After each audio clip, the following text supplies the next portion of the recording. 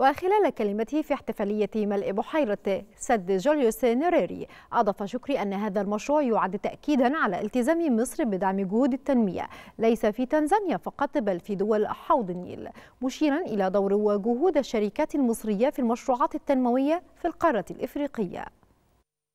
أصحاب السعادة بإجمالي استثمارات 2.9 مليار دولار وقدرة توليد 2000 ميجا وات يعد مشروع جوليوس ناريري أحد أكثر المشروعات الطموحة في مجال الطاقة في قارتنا وسيسهم بفاعلية في تطوير تنزانيا وسيكون له أثر ملحوظ على حياة الأشقاء والشقيقات في تنزانيا.